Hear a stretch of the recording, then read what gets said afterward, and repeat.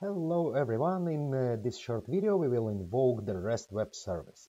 As you probably know, the REST services uh, are different from the SOAP services in two main aspects. First of all, they don't track the state of the connection, they are not required to follow the contract, and they receive the data parameters directly via the URL. Second thing, uh, they are not always returned as the XML, but they can return other structures, like JSON for example.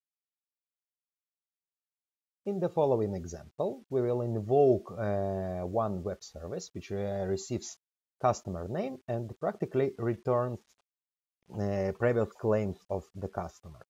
Uh, for our example, I will use this web service. As you can see, it is uh, uh, the invocation of the web service consists of the web service itself, which is deployed to some server, and the parameter which it receives, it receives my name, Kola, and uh, you can see that this service practically returns us some generated JSON with the previous claims of the customer.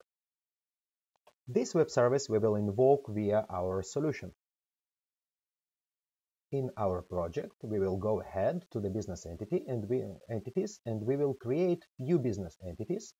There will be a customer name, there will be a URL of the web service.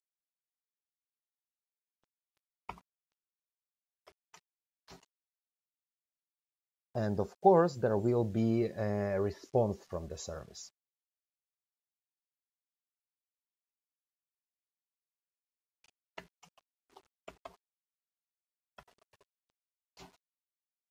Uh, certainly, we will need to, to create the uh, library type which is inside of the communication folder.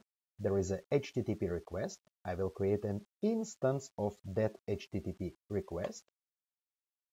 And I will create additional type which will hold uh, my functionality to invoke this service. So I will call this type REST. And it will have practically only one function, which will be named uh, get claims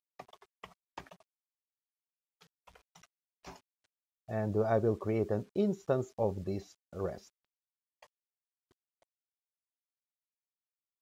My function getClaims practically will receive one only parameter, which will be the name.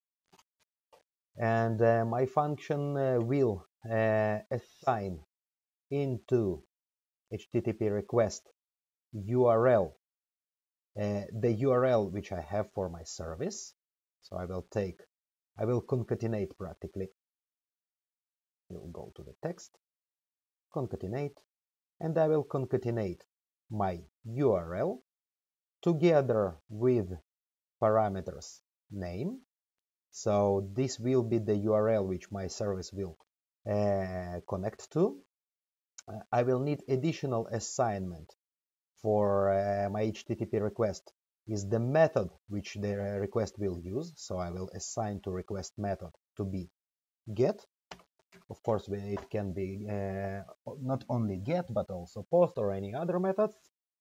The last thing which remained to me is uh, actually to invoke the request to the desired URL. So I will use function invocation. I will invoke function of my HTTP request.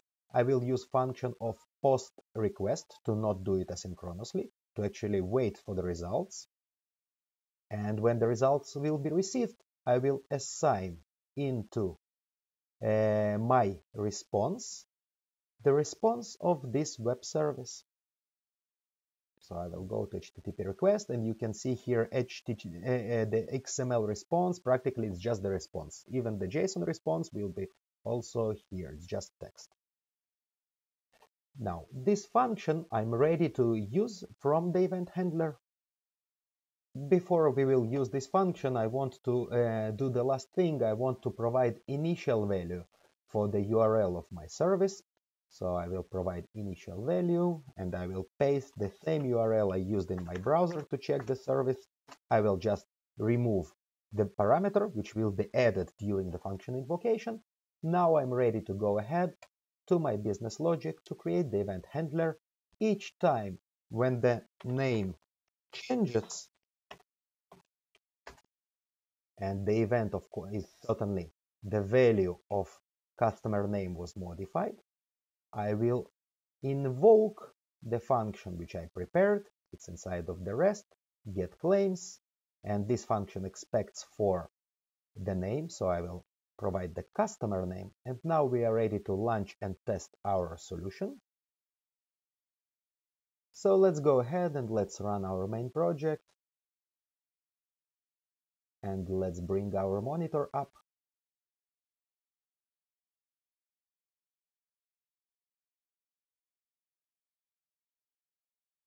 In my monitor, I will update the customer name to be Cola.